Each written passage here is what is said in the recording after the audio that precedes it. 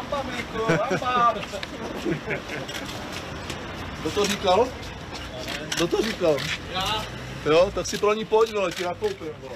říkám, že mi názor, Mirku. Na tvůj názor já